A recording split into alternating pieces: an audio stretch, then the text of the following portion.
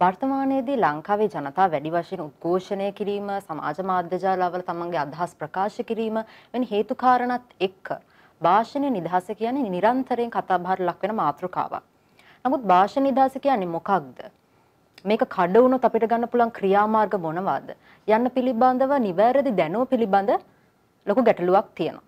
ඉතින් මේ සම්බන්ධයෙන් කතා කරන්න තමයි අපි ජනමතයට වේදිකාව කියන වැඩසටහන් මාලාව ආරම්භ කරලා තියෙන්නේ. අද අපිත් එක්ක එකතු වෙන්නේ නීතිඥ KW ජනරංජන මහත්මයා. ඔබ ආයුබෝවන් කියලා පිළිගන්නවා. ආයුබෝවන්. ඔහු නීතිඥවරයෙක් ඒ වගේම රාවය පුවත්පතේ හිටපු කතුරුවරයා වගේම වර්තමානයේ අනිද්දා පුවත්පතේ කතුරුවරයෙක් විදිහට කටයුතු කරනවා. ජනරංජන මහත්මයා මේ භාෂණයේ නිදහස ප්‍රජාතන්ත්‍රවාදයට කොතරම් වැදගත්ද? ඔව් දැන් මෙහෙම දැන් ප්‍රජාතන්ත්‍රවාදය කියන්නේ මොකක්ද? ප්‍රජාතන්ත්‍රවාදය කියලා කියන්නේ ජනතාවගේ මතය අනුව ජනතාව විසින් තමන්ව පාලනය කර ගැනීමනේ අපි සාමාන්‍ය හැමතිස්සෙම ඕක කියන හැමෝම දන්නවා. ප්‍රජාතන්ත්‍රවාදයේ වඩා ශක්තිමත්ව සහ සක්‍රියව පවත්වාගෙන යන්න නම් ඒ සමාජයේ තියෙන්න ඕන මේ මතවලට ඉඩක් අදහස් දක්වන්න ඉඩක් තියෙන්න ඕන. ඒ කියන්නේ බහුතරයේ මතය සුළුතරයේ මතය සමහරලාට බහුතරයට අහුවෙන් නැති වෙනත් අයගේ මත මේ හැමෝටම අදහස් දක්වන්න ඉඩ තියෙනවා. ඉතින් ඒ අර්ථයෙන් ගත්තහම ප්‍රජාතන්ත්‍රවාදය සෑහෙන ශක්තිමත් වෙන්න නම් අර හැම දිනාටම බයක් නැතුව කියන්නේ බලපෑමක් නැතුව තර්ජනයක් නැතුව තමන්ගේ අදහස් මත දිරිපත් කරන්න අවස්ථාව තියෙනවා. ලංකා ව්‍යවස්ථාවෙන් භාෂා නිදහස් තහවුරු කරලා තියෙන්නේ කොහොමද? ඕ හරිම ලේසි. ඒ කියන්නේ අපේ ආණ්ඩු ක්‍රම ව්‍යවස්ථාව ගත්තොත් අපි කියන ආණ්ඩු ක්‍රම ව්‍යවස්ථාව කියලා කියන්නේ රටේ උත්තරීතර නීතිය. පළවෙනි වැදගත් දේ තමයි ආණ්ඩු ක්‍රම ව්‍යවස්ථාවට මොනවා හරි ඇතුළත් කරාම ආණ්ඩු ක්‍රම ව්‍යවස්ථාවෙන් ඒ ලැබෙන ආරක්ෂාව වෙනත් නීති වලින් අපිට සීමා කරන්න අමාරුයි. ඒ කියන්නේ ආණ්ඩු ක්‍රම ව්‍යවස්ථාව වඩා උඩින් තියෙන. රටේ නීති ගත්තොත් එහෙම ආණ්ඩු ක්‍රම ව්‍යවස්ථාවට වඩා යටින් තමයි අනෙක් සාමාන්‍ය අපි කියන්නේ පනත් ඇක්ට්ස් කියන ඒවා තියෙන්නේ. දැන් භාෂණයේ නිදහස එහෙම නැත්නම් තමන්ගේ අදහස් ප්‍රකාශ කිරීමේ අයිතිවාසිකම අපේ ආණ්ඩු ක්‍රම ව්‍යවස්ථාවට දාලා තියෙනවා. එතකොට ඒකෙන් තේරෙන්නේ මොකද්ද? පළවෙනි වැදගත් දේ අනෙක් නීති වලින් සීමා කරන්න බැහැ මේ ආණ්ඩු ක්‍රම ව්‍යවස්ථාවේ තියෙන දේවල්. ඊළඟ වැදගත් කාරණේ ඒක දාලා තියෙන්නේ මූලික අයිතිවාසිකම් කොට. ඒකට ලංකාවේ ආණ්ඩු ක්‍රම ව්‍යවස්ථාවේ තුන්වෙනි පරිච්ඡේදයේ මූලික අයිතිවාසිකම් සමූහයක් දක්වලා තියෙනවා. ඒකෙන් 14 වෙනි ව්‍යවස්ථාවේ පැහැදිලිව දක්වලා තියෙනවා 14 එක ව්‍යවස්ථාවේ භාෂණ නිදහස ගැන විස්තර කරලා තියෙනවා. අදහස් පළ කිරීමේ නිදහස. දැන් ඒක ආණ්ඩු ක්‍රම ව්‍යවස්ථාවේ දැමීම නිසා විශේෂ ආරක්ෂාවක් ඒකට තියෙනවා. දෙවැනි එක කඩ වුණොත් කවුරු හරි මගේ අයිතිවාසිකමක් කඩ කළොත් භාෂණයේ නිදහස අදහස් පළ කිරීමේ අයිතිවාසිකම මට පුළුවන් ශ්‍රේෂ්ඨාධිකරණයට ගිහිල්ලා ඒකට අදාළ මේ ප්‍රතිකර්ම ලබා ගන්න. ඉතින් ඔය අවස්ථා දෙකම එකක් අනෙක් නීතිවලට වඩා උඩින් තියෙන එක දෙවැනි එක කඩ වුණාම උසාවිය යන්න ශ්‍රේෂ්ඨාධිකරණයටම යන්න පුළුවන් කියන එක දක්වලා තියෙන නිසා ආණ්ඩුක්‍රම ව්‍යවස්ථාවෙන් සෑහෙන ශක්තිමත් විදිහට මේ නිදහස පිළි අරගෙන තියෙනවා. දැන් මාධ්‍ය කියන්නේ ප්‍රජාතන්ත්‍රවාදයක වැදගත් කොටස්කරුවෙක්. එකෙන් සක්‍රිය මාධ්‍ය ඉතාමත් වැදගත්. නැත්නම් මේ භාෂා නිදහස ඔවුන්ට බලපාන්නේ කොහොමද? ඔව් මාධ්‍ය කියන්නේම අදහස් පළ කිරීමනේ නේද? දැන් අපි ගත්තොත් එහෙම අපි හැමෝම අදහස් පළ කරනවා. මේක හරි සරල දෙයක් තේරුම් ගන්න. දැන් අපි මෙහෙම හිතමුකෝ පුද්ගලයෙක්ගේ ශරීරයේ තියෙනවනේ විවිධ ඉන්ද්‍රයන්. ඇස් තියෙනවා, කන් තියෙනවා, නාසය තියෙනවා, කට තියෙනවා, ඒ වගේ. දැන් ඇත්ත වශයෙන්ම ගත්තොත් එහෙම අපි ඔය මේ කියනවා අයිතිවාසිකම් වර්ග දෙකක් තියෙනවා. එකක් සිවිල් හා දේශපාලන අයිතිවාසිකම් අනිත් එක ආර්ථික සමාජීය සංස්කෘතික අයිතිවාසිකම්. ඔය සිවිල් හා දේශපාලන අයිතිවාසිකම් ඇත්තටම මේ ශරීරය සම්බන්ධ අයිතිවාසිකම්. උදාහරණයක් ලෙස මට ඇස් දෙකක් තියෙන නිසා මට වටේ පිටේ සිද්ධ වෙන තොරතුරු මට දැනගන්න පුළුවන්. මට කටක් තියෙන නිසා අදහස් පළ කරන්න කටක් තියෙන නිසා කන්නත් පුළුවන්. හැබැයි ඒ වගේම මගේ අදහස් පළ කරන්න පුළුවන්. දැන් අපි තනි තනියෙන් අදහස් පළ කරනකොට අපේ තනි තනි සීමාවල් තියෙනවා. අපි සමූහයක් හැටියට ඉන්නවා. එතකොට සමූහයක් හැටියට අදහස් පළ කරනවා. නමුත් මාධ්‍යයට එනකොට මාධ්‍යයට එනකොට අර තනි තනිව අදහස් පළ කරනවට වඩා ශක්තිමත්ව සංවිධානාත්මකව සහ විධිමත්ව සමහර වෙලාවට කිසියම් ආකාරයක මේ සංස්කරණයක් සහිතව තමයි ජනමාධ්‍ය හැටියට වැඩ කරන්නේ. එතකොට අපි කියන්නේ ඒක ජනමාධ්‍යනේ. නිකම්ම නිකම් මාධ්‍යනේ මීඩියා නෙමෙයි ඒක මාස් මීඩියා. එතකොට එහෙම එනකොට හැමතිස්සෙම ජනමාධ්‍ය ආමන්ත්‍රණය කරන්නේ ජනතාවට. දැන් ප්‍රජාතන්ත්‍රවාදය පැත්තෙන් ගත්තොත් එහෙම ප්‍රජාතන්ත්‍රවාදය කියලා කියන්නේ ජනතාව තමන්ව පාලනය කරන ආයතන හරිගස්සපු එකනේ අපි මූලික වශයෙන් කරන්නේ රාජ්‍ය කියන්නේ ඒකට. ඒ ආයතන වැඩ කරන්නේ කොහොමද කියලා මහජනතාව දැනගන්න ඕන. ඒක මහජනතාවගේ අවශ්‍යතාවක්. මොකද සල්ලි ගෙවන්නේ මේ ආයතන පවත්වාගෙන යන්න, බදු ගෙවන්නේ, ඒ පහසුකම් සපයන්නේ ජනතාවනේ තමන්ගේ මුදලින්. එතකොට ජනතාවට දැනගන්න ඕන මේ තමන් වෙනුවෙන් පිහිටලා තියෙන මේ ආයතන ඒවා ඉන්න පුද්ගලයෝ අපි හිතමු ජනාධිපතිවරයා, අගමැතිවරයා, කැබිනට් මණ්ඩලය, රජයේ නිලධාරීන් මේ අය වැඩ කරන්නේ කොහොමද කියන එක බලන්න. මහජනතාවට ඕන. මොකද ඒගොල්ලන්ගේ අනුග්‍රහයෙන් තමයි ඒක පවත්වාගෙන යන්නේ. හැබැයි මහජනතාවට ඕක කරන්න බෑනේ. දැන් අපිට ඕන තරම් ගෙවල් වල ගෙදර වැඩ තියෙනවා ජීවිකාව කරගෙන යන්න ඕන. ඉතින් ඒ නිසා මේක මේවා පස්සේ එලෝ එලෝ අපිට බලන්න පුළුවන් කමක් නැහැ. අන්න ඒ වගකීම. ඒ කියන්නේ මහජනතාව වෙනුවෙන් අර ආයතන සහ පුද්ගලයෝ වැඩ කරන්නේ කොහොමද කියන එක බලන එක තමයි ජනමාධ්‍යවල කාර්යභාරය වෙන්නේ. එහෙම වුණහම මොකද වෙන්නේ? ජනමාධ්‍ය වග කියන්න ඕන ජනතාවට. මොකද ජනතාවගේ වැඩක්. ඉතින් ඒ නිසා ජනමාධ්‍ය වලට අතිශය වැදගත් අර අදහස් පළ කරන්න තියෙන නිදහස. ඒකට තියෙන අයිතිවාසිකම් ආරක්ෂා වීම. මොකද ඒක ආරක්ෂා වුණේ නැත්නම් අර මහජනතාවට තිබෙන වගකීම ඉෂ්ට කරන්න බැරි වෙනවා. ලංකාවේ වර්තමාන තත්ත්වයක් එක්ක කොහොමද ලංකාවේ මාධ්‍ය මේ අභාෂණ නිදහස පාවිච්චි කරලා තියෙන්නේ? එහෙම නැත්නම් ඔවුන් ඒක පාවිච්චි කරලා නැද්ද අවශ්‍ය විදිහට? නෑ ලංකාවේ මාධ්‍ය මං කියන්නේ ජන මාධ්‍ය කියන්නෙම භාෂණයේ නිදහස පාවිච්චි කිරීම. එතකොට අපි ජනමාධ්‍යවල ලිපියක් ලියනකොට ඉන්ටර්විව් එකක් කරනකොට එහෙම නැත්නම් වෙන මොකක් හරි වැඩසටහනක් කරනකොට ඒක ඒකෙන් එළියට එන්නේ අදහස් පළ කිරීම. එතකොට ජනමාධ්‍යයක් හැමතිස්සෙම අදහස් පළ කරනවා. දැන් ඔබ අහන විදිහට මට තේරෙන්නේ දැන් ජනමාධ්‍ය අදහස් පළ කරනවා. හැබැයි තීරණාත්මක වෙලාවල එහෙම නැත්නම් තමන්ගේ තමන්ගේ සාමාන්‍ය ප්‍රමාණය ඉක්මවා ගිහිල්ලා ජනමාධ්‍ය කටයුතු කරනවාද කියන එක. මේකට හොඳ ජනමාධ්‍ය උදාහරණයක් තියෙනවා පරණ කියන දැන් හරියට ජනමාධ්‍ය ගත්තොත් එහෙම සමහර ලාවට ගහක බැඳලා තියෙන අපි හිතමු ගවෙක් වගේ කියලා. දැන් එතකොට බැලූ බැල්මටම සීමාවක් තියෙනවා. අර ලණුව දිග ගහක් තියෙනවා ගවයෙක් ඉන්නවා එයාව බැඳලා තියෙනවා ලණුවකින්. එතකොට එයාට අර තනකොළ කන්න පුළුවන් ඉන්නේ එක සීමාවකනේ. නේද? Tamange ලණුව තියෙන දුර උපරිම. හැබැයි අර ඔබ අහපු ප්‍රශ්නේ ජනමාධ්‍ය මේ නිදහස පාවිච්චි කරනවද කියන එක එන්නේ අර ලණුවට වඩා තව ටිකක් කන්න පුළුවන්ද කියන එක. ඒකින් තමයි අදහස එන්නේ. නැත්නම් ලණුව ඇතුලේ ඉන්නවා නම් හැමදාම ඒ සීමාවේ නම් ඉන්නේ අර ඔබ කියපු විදිහට ජනමාධ්‍ය තමන්ගේ වැඩේ කරගෙන ඉන්නවා. නමුත් ජනමාධ්‍ය ඒ සීමාව ඉක්මවා ගිහිල්ලා උත්සාහ ගන්නවා නම් එහෙම නෑ ඊටත් එහා ටිකක් කන්න ඔන්න ඔතන තමයි ජනමාධ්‍ය වලට මේ ප්‍රකාශ නිදහස කියන එක වැදගත් මොකද හේතුව අපි අර රවුම ඇතුලේ ඉඳී කියලා රජය බලාපොරොත්තු වෙනවා. අපි ඒ රවුම ඇතුලේ ඉඳී කියලා පාලන ආයතන බලාපොරොත්තු වෙනවා. අපි ඒ රවුම ඇතුලේ ඉඳී කියලා විධායකේ ව්‍යවස්ථාදායකේ හැමෝම නීතියත් සමහරලාට බලාගෙන ඉන්නවා. හැබැයි ඒ සීමාවෙන් එහාට ගිහිල්ලා අපිට මොකද්ද කරන්න පුළුවන් කියන එක උඩ තමයි ඇත්ත වශයෙන්ම මේ ඔය ජනමාධ්‍ය ප්‍රකාශ නිදහස පාවිච්චි කරනවාද කියන එක තීන්දුව වෙන්නේ.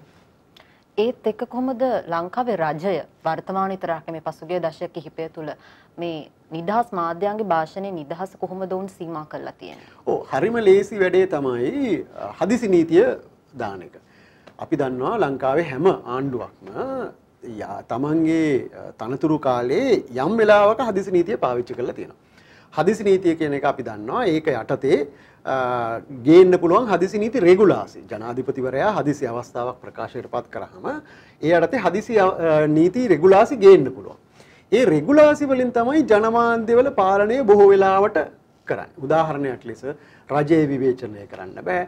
ජනාධිපතිවරයා විවේචනය කරන්න බෑ. රාජ්‍ය ආයතන සම්බන්ධයෙන් මෙන්න මේ සීමා පනව ගන්න ඕන. ඊළඟට සමහර අවස්ථාවල තියෙනවා නිසි බලධරයෙක් පත් කරපු අවස්ථා. කම්පිටන්ට් ඔතොරිටි එකක්. ඒකෙන් මොකද වෙන්නේ? ජනමාධ්‍ය ලිපියක් පළ කරන්න ගියාම ඒක අපිට ඕන විදිහට පළ කරන්න බෑ. අපි එයා ගාවට යවන්න ඕන. හදිසි අවස්ථාවලදී එයා ගාවට යවලා එයා අනුමත කරන කොටස් පමණයි අපිට පළ කරන්න පුළුවන්. ඉතින් මේකට ජනමාධ්‍ය වේදී නිරෝධය දක්වපු අවස්ථා තියෙනවා. උදාහරණයක් ලෙස දැන් සමහර අවස්ථාවලදී මට මතක නැහැ පුවත්පත්වල නම් යව්වහම පිටු අපි හිතන්නේ අපි කියනවනේ පත්තරවල පිටු පිටුව යවනවා ලිපිය අර නිසි බලධරයා ගාවට. නිසි බලධරයා කරන්නේ ආණ්ඩුව විවේචනය කළා තියෙනවා නම් අගමැතිවරයා විවේචනය කළා තියෙනවා නම් ජනාධිපතිවරයා විවේචනය කළා තියෙනවා නම් ඒක කපලා දාන්න. දැන් ඒක කැපුවාම ජනමාධ්‍යවේදීන් කරන්න ඕනේ ඒක කපලා ඉතුරු ටික දාන එකනේ. නෑ. ලංකාවේ සමහර අවස්ථාවල තියෙනවා අර කපපු ටික ස්පේස් එක හිස්ව තියලා. බල්ලා විසින් උලා කන ලදී කියලා ගහලා තියෙනවා කියලා. එතකොට මිනිස්සු දන්නවා මොකද්ද? මේ මුළු ලිපිය තියෙනවා මේකෙන් මේ වැදගත් කැලේ ටික ඔක්කොම මොකද කරලා තියෙන්නේ? නිසි බලධාරයා උලා කනලාදී එහෙම උලා කන්නේ සත්තුනේ. එතකොට අර නිසි බලධාරයාවත් එක්තරා විදිහකට විවේචනය කරලා තියෙනවා මේ ජනමාධ්‍ය ඇතුලේ. ඒතර හදිසි නීතිය තමයි බලවත්ම ආයුධය මේ රටකට සහ ලංකාවෙත් ජනමාධ්‍ය මර්ධනය කරන්න. ඒක යටතේ ඔය කියපු විදිහට විශේෂ අවස්ථාවලදී නිසි බලධාරීන් පත් කරපු එක. ඒ විතරක් නෙමෙයිනේ. අපි මෑත ඉතිහාසය දන්නවනේ ජනමාධ්‍යවේදීන් තමන්ගේ අදහස් නිදහසේ පළ කරපු නිසා මරා දමපු අවස්ථා තියෙනවනේ. ඊළඟට පැහැරගෙන ගිය අවස්ථා තියෙනවනේ. අතුරුදහන් වෙච්ච අවස්ථා තියෙනවනේ. ඉතින් ඒක තමයි තියෙන නරකම තැන. ඉතින් ලංකාව අර හදිසි නීතියට තේ කරන සීමාවල් වල සිට ජනමාධ්‍යවේදීන් ඝාතනය කිරීම දක්වා රජයන් නොඑක් අවස්ථාවල මේ පරාසය ඇතුළේ ජනමාධ්‍ය පාලනය කරලා තියෙනවා. මේ වෙනකොට සමාජ මාධ්‍ය ජාලාවල වැඩි භාවිතයත් එක්ක හැම පුද්ගලෙක්ම යම් ආකාරයක මාධ්‍යවේදියෙක් වෙලා තියෙනවා. උන්ට තමන්ගේ අදහස් එලිපිට එලි දක්වන්න පුළුවන් වගේම ඕන කෙනෙක්ට ඒ අදහස් හුවමාරු කරගන්න පුළුවන්.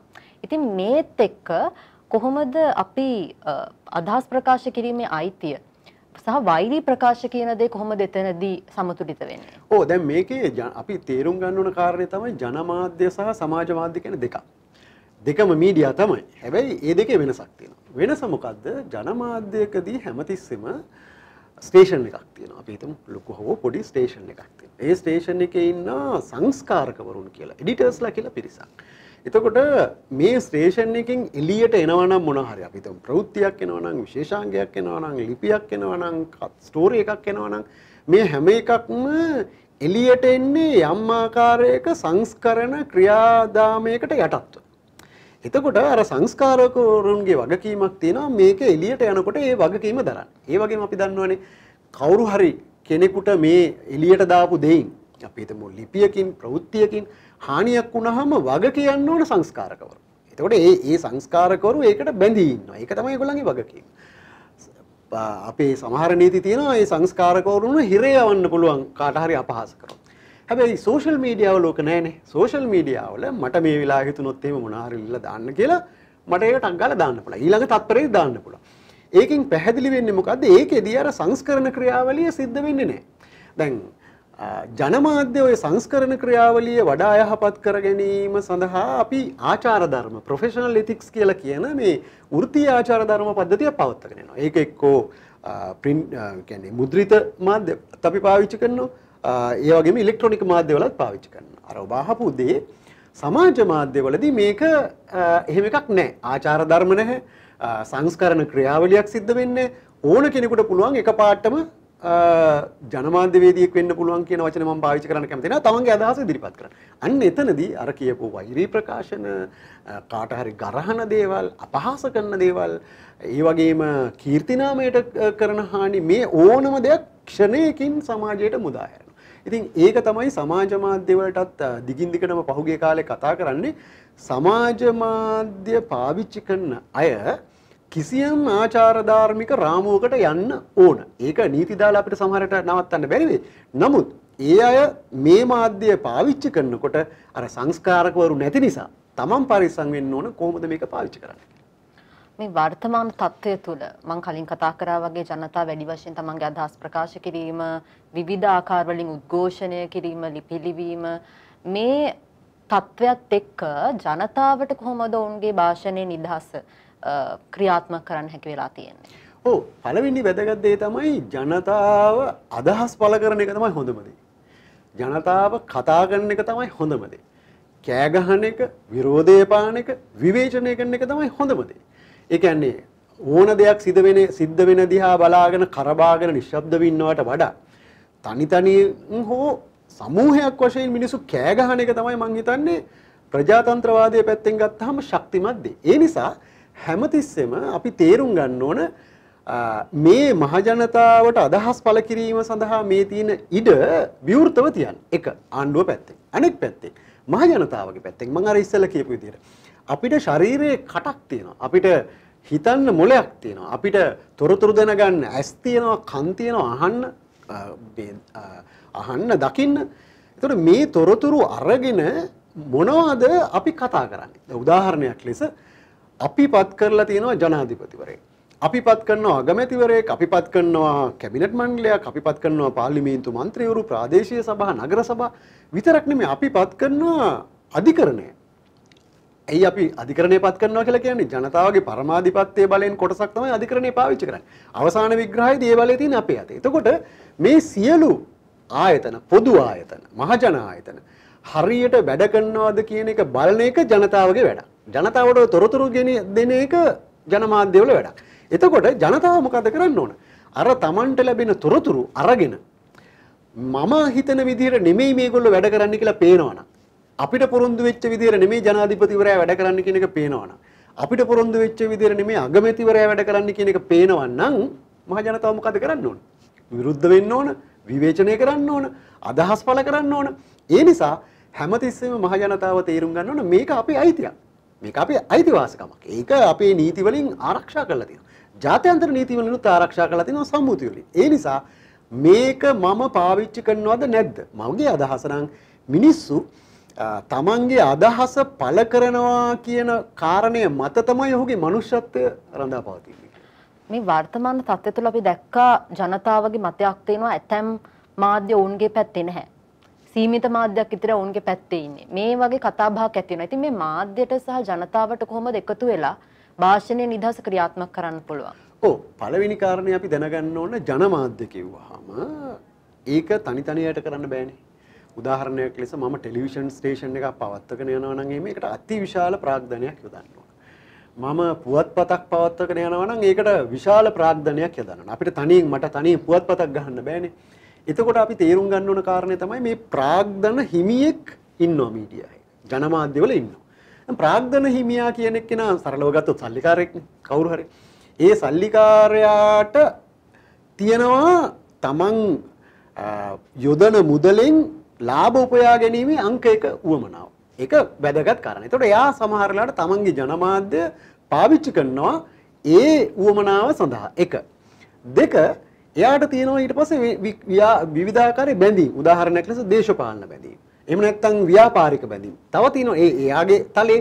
එතකොට එයාට ඕන වෙනවා අන්න ඒවත් ආරක්ෂා වෙන්න තමන්ගේ ජනමාධ්‍ය පවත්වාගෙන යන්න. එතකොට බැලූ බැල්මටම පේනවා යම්කිසි ජනමාධ්‍ය ආයතනයක් යම්කිසි හිමිකාරීත්වයක් තියෙනකොට ඒ හිමිකාරීත්වයේ න්‍යාය පත්‍රය කිසියම් දුරකට ජනමාධ්‍ය ආයතනය ඇතුළේ වැඩ කරනවා.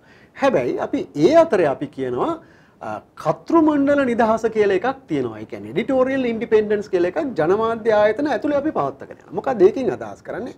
අර ජනමාධ්‍යයේ හිමිකරුවා කියන න්‍යාය පත්‍රය නොසලකා හෝ ඒක ගැන අවධානය යොමු කළා ජනමාධ්‍ය පුළුවන් තරම් ස්වාධීනව පවත්වගෙන යන එක. ඉතින් ඒක කොච්චර දුරට මේ මොකක්ද අපි කියන්නේ කොම්ප්‍රොමයිස් වෙනවද කියන එකට තමයි ජනමාධ්‍යයක් ස්වාධීනද නැද්ද කියන එක තීන්දුව වෙන්නේ.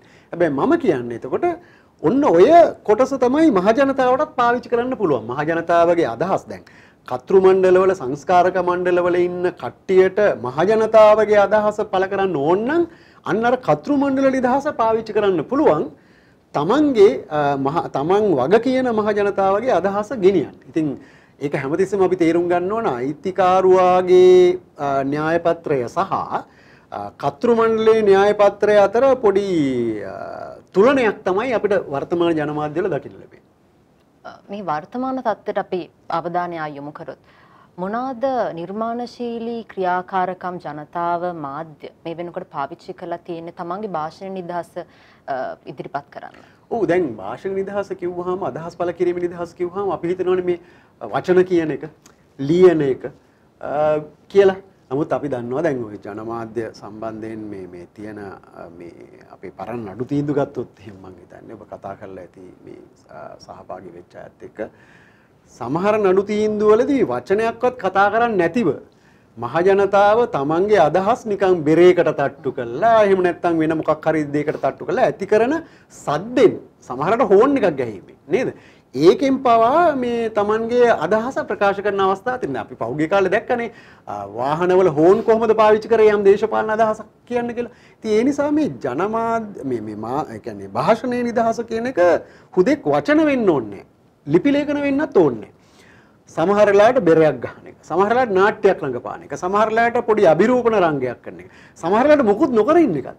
උදාහරණයක් හැටියට අපි හිතමු කොහේ හරි හන්දියකට ගිහිල්ලා කවුරු හරි හන්දිය මැද්දේ හිටගෙන ඉන්නවා තනියෙන්. එතකොට එයා එයත් ඒකේ ප්‍රකාශනයක් කරන්නේ. එයා මුකුත් කරන්නේ කිසිම ඇත්ත එකක් නැහැ. හැබැයි හිටගෙන සිටීමෙන් පමණක් නිශ්ශබ්දව සිටීමෙන් පමණක් එයා තමන්ගේ අදහස පළ කරනවා. ඒතර මේවා හරිම නිර්මාණශීලී දේවල්. එතකොට දැන් මිනිස්සු අර පරණ කල්පනාවෙන් අපි මේ ජනමාධ්‍යවල අදහස් පළ කරන්න ඕන ටෙලිවිෂන් කැමරාවකට ගිහිල්ලා මොනවා හරි කියන්න ඕන කියන කතාව දැන් යල් පැනලා ගිහිල්ලා. අපි හැමෝටම පුළුවනි මේ තමන්ගේ සීමාව ඇතුළේ එක්කෝ පෞද්ගලිකව එක්කෝ සාමූහිකව. දැන් අපි උදාහරණ ලෙස පෞගේ කාලේ දැක්ක රටේ තිබිච්ච දේශපාලන වාතාවරණයට විරුද්ධව මිනිස්සු ගෝල් ෆේස් එකට ආවේ නැහැ. හැබැයි තමන්ගේ ගේ ගාව ඉස්සරහට වෙලා පොඩි බෝඩ් එකක් අල්ලගෙන කට්ටිය පවුලේ කට්ටිය සමහරවිට අපි දැක්කපු සමහර අවස්ථාවලදී මේ පවුලේ කට්ටිය විතරයි එතන ඉන්නේ. ඊළඟට හන්දියට ගියාම ගෙවල් තුන හතරක මිනිස්සු කට්ටිය ඇවිල්ලා එතන ඉන්නවා. හැබැයි ඒගොල්ලෝ ඊටිපන්දමක් පත්තු කරගෙන කට වහගෙන නේද? ඇස් දෙක වහගෙන ඕවගේ හරිම සරල දේවල් වලින් මේ තමන්ගේ අදහස පළ. ඉතින් මේක හරිම නිර්මාණශීලී. එතකොට කෑ ගහන්න ඕනේ පොලිසියත් එක්ක මේ ගැටෙන්න ඕනේ හමුදාවත් එක්ක ගැටෙන්න ඕනේ නමුත් මුළු සමාජය ඇතුළෙම ඉතාම නිර්මාණශීලී විදිහට තමන්ගේ විරෝධය විචාරය තමන්ට තියෙන විවේචනය ඉදිරිපත් කරනවා. ඉතින් දැන් ලෝක යන්නේ ඒ වගේ පැත්තකට තමයි දැන්. ඉතින් ඒ නිසා මහජනතාව තමන්ගේ අදහස් පළ කිරීමේ අයිතිවාසිකම ප්‍රධාන ධාරාවලින් පාවිච්චි කරන්න පුළුවන් බවත් අපි තේරුම් ගන්න ඕනේ. ඒ වගේම තමන්ටම ආවේනික තමන්ගේම ක්‍රමවලිනුත් මේක නිර්මාණාත්මකව ඉදිරිපත් කරන්න පුළුවන්. භාෂා නිදහස කියන්නේ මූලික අයිතිවාසිකම. ඒක ක්‍රියාත්මක කරන්න ඔබට ව්‍යවස්ථාවෙන්ම ඉඩ දීලා තියෙනවා. ඉතින් ඒ කතාබහත් එක්ක අද වැඩසටහන අපි මෙතනින් අවසන් කරනවා. බොහොම ස්තුතියි ජනරන්ජන් මහත්මයා අද අපිත් එක්ක එකතු වුණාට. මීළඟට තවත් මේ වගේ හරවත් වැඩසටහනක් එක්ක අපි නැවත එකතු වෙමු. ස්තුතියි.